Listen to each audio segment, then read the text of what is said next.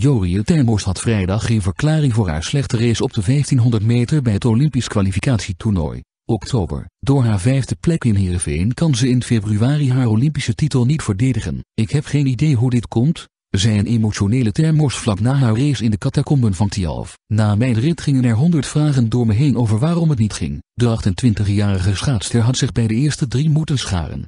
Maar ze kwam 0,75 seconden tekort op de derde tijd van Marit Leestra. Dit zag ik niet aankomen. Al in de eerste ronde voelde helemaal ik geen power in mijn benen. Dat is normaal in de laatste 400 meter. Niet in de eerste 400. Ik was vol vertrouwen. Had er zin. Mentaal was ik goed. Ik weet dat dit mijn afstand is, dat ik dit goed kan. Ik had zeker niet gedacht dat ik zo in de ronde zou rijden toen ik aan de start stond. We zullen nog nader onderzoeken hoe dit kan. Shorttrack Termos mag wel naar Pierre want ze plaatste zich eerder deze week op de 1000 meter voor de Spelen. Ook heeft ze nog een startplaats op de 1500 meter shorttrack en zit ze in die sport in de Nederlandse aflossingploeg. De 1500 meter lange baan, de afstand waarop ze glorieus Olympisch kampioen werd, was echter haar belangrijkste doel per oktober. Ik moet nu de focus leggen op de 1000 meter. Ik ben natuurlijk wel geplaatst, dus ik zal de knop om moeten zetten. Ik heb nog een heel mooi programma in Pierre met genoeg onderdelen waar ik wel aan de start mag verschijnen. Dit is heel jammer, maar ik kan het niet meer veranderen. Termoors had kort na haar race niet de neiging om alles kort en klein te slaan. Ik bouw meer van de onwetendheid over mijn lichaam.